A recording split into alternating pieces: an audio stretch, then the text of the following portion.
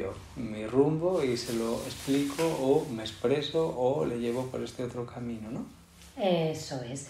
Y en, en el trabajo eh, terapéutico, eh, yo lo que hacemos es separar, es decir, una cosa es separar a la persona, ¿no? a ti como, como Javi, ¿no? y luego la historia de tu sistema nervioso. Y a quien podemos ayudar, sobre todo tú, ¿no? como persona, como Javi, tú puedes ayudar a tu sistema nervioso a conocerlo un poco más, a, a conocer cómo reacciona, porque realmente el sistema nervioso es el que hace que sintamos miedo, que sintamos alegría, que sintamos tristeza, que sintamos esas emociones. Entendemos sistema nervioso por todo el conjunto de reacciones químicas ligadas a él dentro de neurotransmisores, etcétera, también a nivel hormonal, etcétera, ¿no?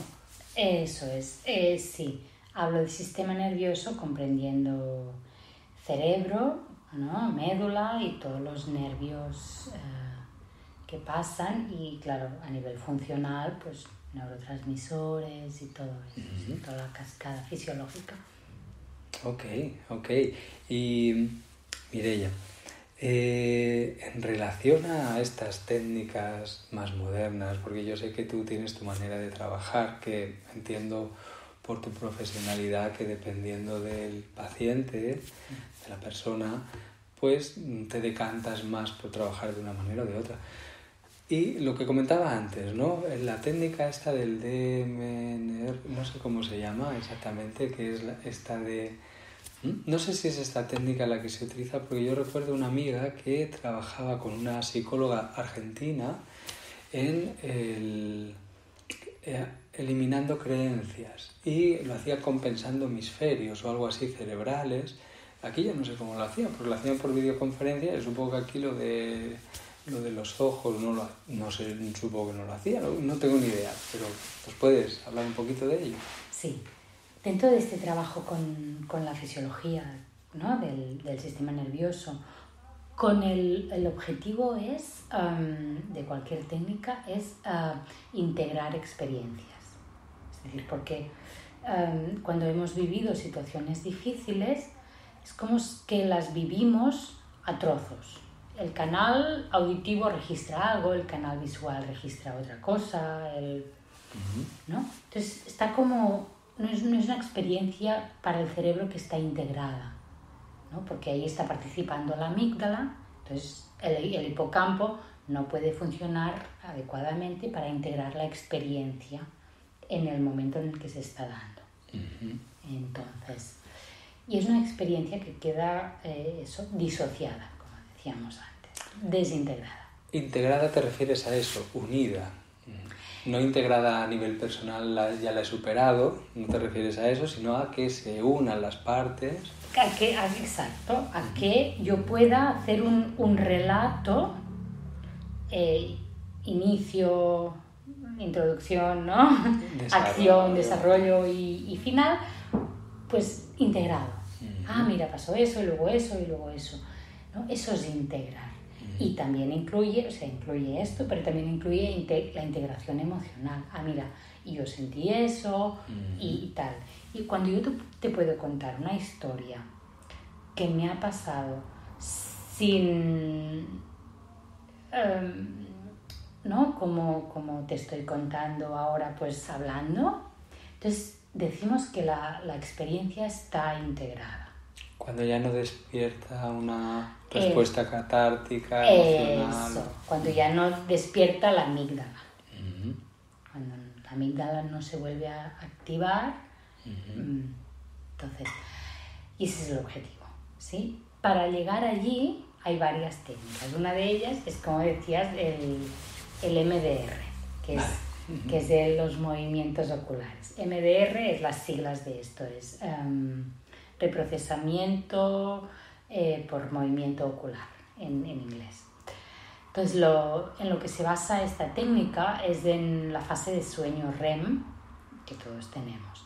Em, hubo una, una, mujer, Francine Shapiro, que em, descubrió o se fijó en, en, su momento, fue en los años 40 o 50, eh, pues que durante esta fase el cerebro, eh, esta fase en que los, el ojo, los ojos se mueven muy rápido, el cerebro, ese movimiento le permite hacer integración de, las cosas que han pasado durante el día. ¿sí? Entonces, se planteó que se podría utilizar el, el movimiento ocular para facilitar la integración eh, de las experiencias a nivel hemisférico, a nivel neuronal, a nivel, bueno, funcionamiento del hipocampo en realidad, y, luego a nivel cortical. Y lo empezó a, empezó a practicarlo y vio que, que, que sí, que funcionaba. y, y, en eso se basa, ¿eh? es decir, eh, el, es una técnica que tiene que estar integrada dentro de un proceso de psicoterapia. ¿eh? Es decir, eh, yo no puedo ah, una sesión suelta, mover los ojos y pretender que... Pase algo, que se integre algo, ¿no? A lo mejor integra el café, Exacto. No, es decir, hay que, hay que hablar con, con el terapeuta, hay que ir a la, a la historia, hay que, y hay que desmenuzarlos, sobre todo es muy importante, de a poquito. Yo puedo, algo que mi cerebro vivió y no pudo integrar ahora, ahora voy a tener que digerirlo a sorbitos. ¿Eh? Entonces, por eso es importante que esté integrado en un proceso de psicoterapia, de varias sesiones. Entonces, también hablabas de las creencias, ¿no? De cambio de creencias y eso. Sí, es verdad, cuando yo integro las experiencias vividas, a lo mejor ¿no? ya no pienso que, que todos los, los hombres eh, en la noche son peligrosos. Pues empiezo a pensar que yo tuve una mala experiencia una noche cuando era joven, pero no por eso todos los hombres son peligrosos. Entonces ahí cambias esa creencia pero porque estás integrando la experiencia que tú tuviste. ¿eh? No es el cambio de pensamiento. Muy bien. Y dentro de, de, estas técnicas hay otras, ¿no? Una es por movimientos oculares y hay otra técnica, por ejemplo, que es muy eficaz, también que es una de las que utilizo, que es Somatic Experiencing. Esa técnica es lo mismo, pero no hay el movimiento ocular. ¿sí? Es decir, lo que hacemos es em, trabajar con eh, la fisiología del cuerpo. ¿Qué quiero decir con eso? Em, cuando uno ha vivido una experiencia que ha despertado mucho miedo, todos los músculos del cuerpo se tensan, se ponen en modo lucha, huida o congelación porque no puedo hacer nada. ¿sí? Entonces, cuando yo vuelvo a solo de recordar esa experiencia de miedo, mis músculos del cuerpo vuelven a activarse. Me vuelvo a tensar o vuelvo a tener ganas de huir vuelvo a desconectarme, bloquearme y no, puedo, no poder mover el cuerpo. Entonces, Ahí es cuando con la terapia trabajamos con el cuerpo, es decir, estoy recordando este episodio de miedo y pregunta ¿no? del psicólogo, ¿y cómo es esa experiencia, ese recuerdo en tu cuerpo? Entonces, se trata de ir también desmenuzando de, vale, pues al recordar esto, pues siento que tengo una presión en el pecho o tengo mis piernas eh, se vuelven frías. Entonces, al fijarnos en estas señales del cuerpo, podemos de alguna forma descargar esa tensión que se creó en ese momento y poder liberar esas cargas que tenemos y poder integrar la experiencia. Eh, las emociones que, que hubo, las imágenes, los sonidos, a través de descargar eh, un poco las, mm, digamos, tensiones corporales, lo que el cuerpo te dice.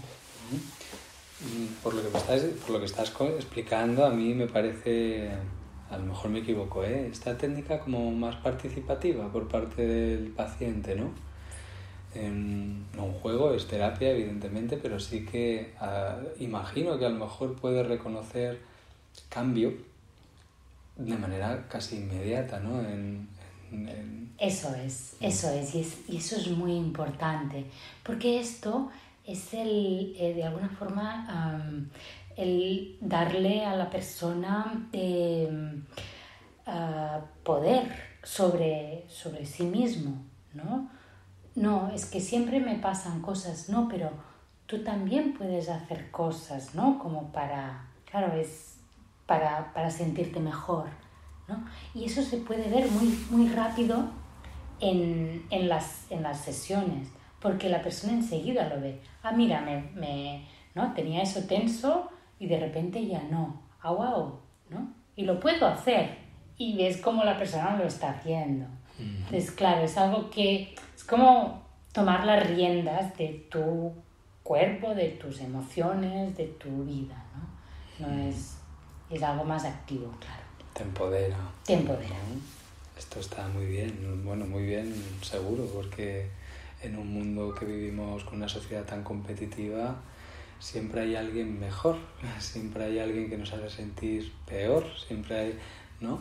Y habremos tenido experiencias por ahí acumuladas en este aspecto que a lo mejor toca mm, integrar para poder seguir avanzando, ¿no? Porque sí que nos encontramos muchas veces pacientes y personas que pareciera que llegan a un punto de su vida en el que ya no, ya no evolucionan más, ya no avanzan más, ¿no? Y, y a veces desde fuera se puede intuir, se puede ver, o la persona lo reconoce directamente como eh, tengo este tope y sé que tengo mi forma por lo que he vivido, por tal, y de aquí no, y no puedo seguir, me está frenando, ¿no? Que a lo mejor puede ser que haya esas cositas vividas, esas creencias que hay que a lo mejor integrar o modificar o, o de alguna manera para seguir creciendo, ¿no? Sí, sí, sí, tal cual. Hay, normalmente cuando pasa eso, es que detrás, cuando pasa eso es que hay, hay una defensa, ¿sí? Hay, hay una defensa de y detrás de esto es como que hay cosas que me duelen, cosas que he vivido que me han dolido. Y claro, si yo traspaso ese tope, voy a volver a sentir el dolor. Entonces no quiero, entonces me protejo. Entonces digo, este es mi tope. Esto me recuerda, eh, perdona Mireia, me recuerda a como, porque claro, yo tengo dos hijas y cuando a la, la mayor es ya más mayor, aún así también le pasa a veces, y es como cuando a la pequeña le da miedo a algo, me pide la mano para poder pasarlo, ¿no? Que pedir la mano y que en este caso su padre, un servidor, la acompañe, hace que lo pueda recorrer sin ese miedo. Sería como el psicólogo y la persona, ¿no? Igual, mm. idéntico. Es decir, Todas las personas podemos superar dolores, traumas, todos. Lo único que necesitamos es sentirnos acompañados en ese proceso. Porque eso es lo que no tuvimos cuando nos pasó. Nos pasó lo que nos pasó, pues estuvimos solos. Y claro, sí, es así de simple y de complicado a la vez. Y de complicado y, de lindo, ¿no? Porque vernos así, como tú estás explicando y aclarando y las cosas, creo que puede ayudar a mucha gente a, a poder eh, dar un paso hacia hacer terapia con psicología, con psicoterapia, con buenos profesionales, para poder ir superando esos pequeños baches, lagunas, creencias, traumas, lo que sea, que hemos ido viviendo y que, bueno, que a veces hace que pese mucho el aire que respiramos casi, ¿no? Claro, claro, hace que pese mucho el aire que respiramos por miedo a volver a sentir dolor. El problema también de esto es que me pierdo el dolor, pero también me pierdo el placer, porque no puedo, no puedo dejar de sentir solo dolor. No, si dejo de sentir, dejo de sentir también el placer y me pierdo las cosas buenas de la vida.